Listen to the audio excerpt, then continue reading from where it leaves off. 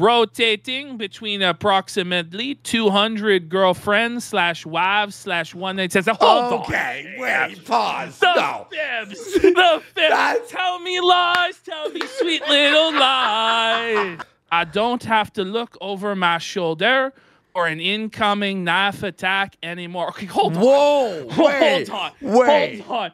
Hold on. Okay. I'm a JF coming, potato attack inbound. All right, now All right. we're going to JF Gariepy. Guys, JF has turned 40 years old. No. JF is officially crossed that Rubicon. He is officially elderly, 40 years old. And JF has a special birthday message for us. JF Gariepy, let's read it here. All right. He says, I am 40 today. Holy shit. His hairline looks like he's about 55. Yeah, it's bad. You know, the Norwood Reaper came for him, but he goes, I spent the last few decades searching for a serious woman as a romantic partner, rotating between approximately 200 girlfriends slash wives slash one night stands. Hold on. okay, wait, pause. The no. fibs. The fibs. Tell me lies. Tell me sweet little lies. Ah. He's like Pepe Le Pew. Are you kidding me? Like the French knows the way of love, Andy. Come And on. I have been with over 200 women with diameter. Jeff, how many of these women were mentally defective? All. All. Uh, JF, like JF went to the, the sanitarium. what do you call the mental asylum? Yeah, yeah. And he just started picking up like and stuff like this. It's like, how do you say Papa JF potato? Now you say Papa JF. How many are still alive? You know, Like what? Like 20? like, come on. Like, how many were blow up dolls? Like 200? two hundred. Come on. JF Gariepy, just the Chad King p- slayer of the century. This guy is the most socially awkward, Oh, beyond. autistic, stiff, weird, creepy guy in the world. His hairline non-existent, fat, like, and he's like a racist. Like, ew. like, if you're a f- woman in the modern day, is there any more man that would be like more repulsive? That, you know, When JF JF gives JF gives every woman the ick. you know, he's French for sake, Th- and but he's a manlet. He's short. 200? Like JF. like, Two hundred say a realistic number, like a, a realistic Yeah. high number for you, JF. So he's still trying to make the Ross Geller spiky hair work in 2024. Wait, wait, wait, like, wait, wait. So he's, he's calling these 200 women uh bad. It was bad treatment and low level women. All After 200. decades of bad treatment from these low-level women, Okay. I am happy to report that I found one worth respecting. So Wow. JF just dunks on himself. So after this like humble brag that he's been with over 200 women, he then felts himself by saying they were all low value. Yeah. It's like when Ralph goes, "Well, your was loose, Faith, and it stunk." Remember for And years like, he was like Ralph, bragging. like, it's like, what are you doing, bro? what are you doing? Then he goes, My approach has always been the same. Do not hold grudge against a new woman for the actions of past ones. Of course, that is hard to do given that at some point the empirical reality comes to matter. If the last 200 were sick in the head, what are the chances that the new one won't be? Well, JF, like, you know, you're the one choosing, bro. Yeah. The 200 women were all sick in the head, mentally ill. Like, I don't know what to tell you, man. The, the common factor amongst all of those is you, JF. Is you, JF. Uh, tell us, Andy, you were with him for like a day. We went for like like like to a restaurant with uh, all the other dudes. From conservative. I didn't like. I wasn't watching him smash.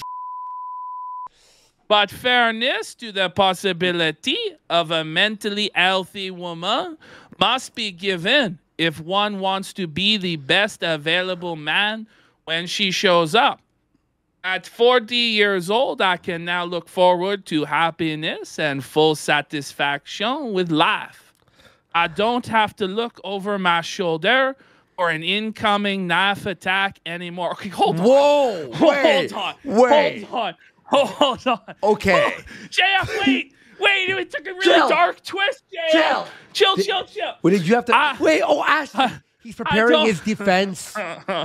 His defense. I was using self-defense yes. when they find was body. Just, it was just in self-defense. We were we are having a JF Simpson moment. Look, at, if I did it, it was because a knife was coming for me behind my shoulder. Ooh, that Okay. that's nuts, bro.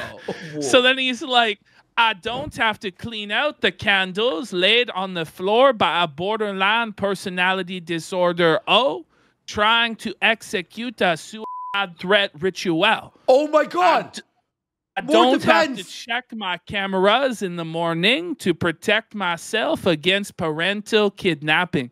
So Whoa, let's whoa, have a whoa, look. There's a lot to unpack in this paragraph, which gives us insight into the whole situation as to why Mama JF is missing. So JF claims that he had to look over his shoulder because Mama JF kept trying to kill him with a knife. Yeah. This is what he's saying. Then he's claim like imagine like you're just like going about your business, your Papa Jeff. "Do, do, do, I am uh, writing the revolutionary phenotype and drinking my diet Pepsi while drinking myself off about Elon Musk.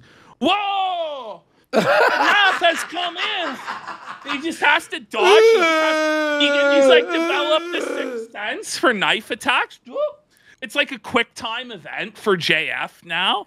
The X button pops up on his like vision, like a like a augmented reality game. JF. It's JF like RoboCop.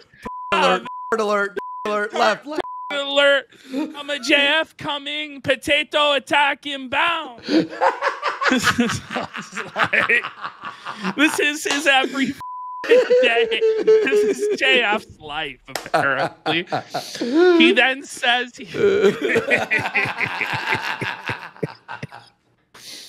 he doesn't have to clean out candles laid on the floor by a borderline personality disorder hoe. First off, I don't think Mama JF was BPD.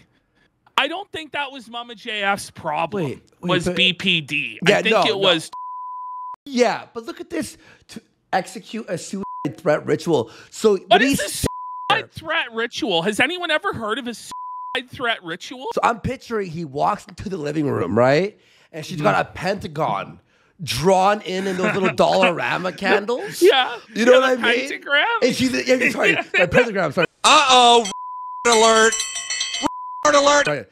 I put a grab, and she's in the middle with like her legs crossed. And she's like, duh, duh. He's like, not again, not again. And she's got, like Joker style knives, like circled around. That's pentagon. Sorry, It pentagram. turns out, it turns out the story of Mama JF, it was darker than we ever realized. You know. There was like dark satanic rituals going on in Papa JF's office that he would walk in on. Then he says something strange. He says he doesn't have to check his cameras in the morning anymore to protect himself against parental kidnapping. Hmm. So, okay, so parental kidnapping, is he talking about like Mama JF's parents coming to repossess her? Or is he talking No, his about kids. like his kids. But do his kids live with him? I don't think they do, right? Oh. I think the kids live with Oh. her oh. parents.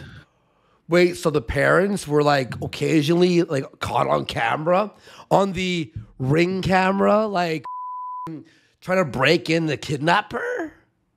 Yeah, I think so. I think Mama JF's Okay. parents were coming to repossess her because I don't think the, the kids were with JF. I think they were taken away, and he's been seething about that. Ben no nobody really knows whether or not the kids live with him or not. And he doesn't answer questions about it, but I don't think that they do. So I don't hmm. know. Just interesting there. I, I'm no I don't know what he means by parental kidnapping. Like it's it's kind of strange. But Ash, is this not? This feels like he's like prepping a defense, Yeah. right? And then he'll say, "Oh, I had to lie because I was threatened," or something like you know. This Listen, is. the courts are railroading the white man. Uh, I guarantee you, this will be on a Jim Can't Swim video in three it's years. going to be. It's like one of his two videos of the year. Like one will be this. Like, this JF goes to the incels. Don't give up. Build value and take the possibility. It's easy for JF to say as a child that slayed 200 p- You like know? JF's like a like miles of p- and he's trying to relate to incels. How can incels ever live up to your Chadness, gay rapey? You know. Like f- you, you fake cell swine. How said, dare, how dare he try and to be an incel? as someone said, Slade. Jeff called me. Slade, literally. He's, Literally he's pl- See? but like Yeah, lit, not in the metaphor.